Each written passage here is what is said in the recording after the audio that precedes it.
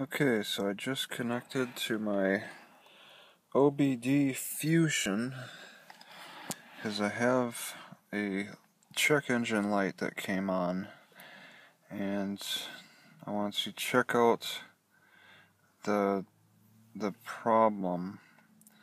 So this vehicle is not ready for emission testing.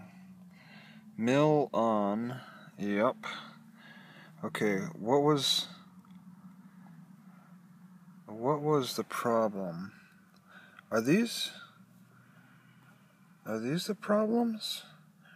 I got several uh, checks and unchecks.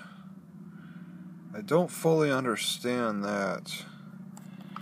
I was just gonna look for the uh, yeah maybe the di no no no Maybe it's in the diagnostics, I believe, somewhere.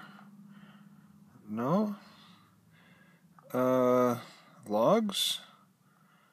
No. Yeah, not maps. Dashboard? Um, okay, yeah. I didn't turn the car on yet. 12.2 volts. I think that might be kind of low. I might be uh, doing something to the battery that's unfavorable. No, oh, I see. It's down below here. I was in the PID values. Okay, the freeze frame when the when the trouble occurred. Okay, so I just record that calculated load value, short term fuel trim. This is when it occurred. The freeze frame. Okay, so that's that covers that. Maybe I should turn the brightness up. Maybe that can help. Maybe that can help. Alright, so that's freeze frame. Now trouble codes. Alright, so read that. And I have catalyst system efficiency below threshold P0128. Okay, now I got this information. I'm not going to run any live diagnostics. What I want to do next now is I'm going to shut off the car. I'm going to pull pull the the EBD reader. Okay. Now this screen actually stays on, unlike that French one. Okay.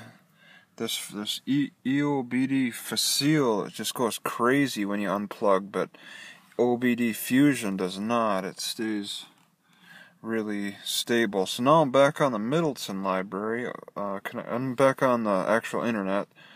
And now I can investigate this this catalytic system. I'll, I'll click that and then it has this online lookup. Just tap it. Alright, so now that's the trouble code and the information. Alright, I got a lot to learn here. Communication has occurred I can just dismiss, yeah, the French one would be going crazy.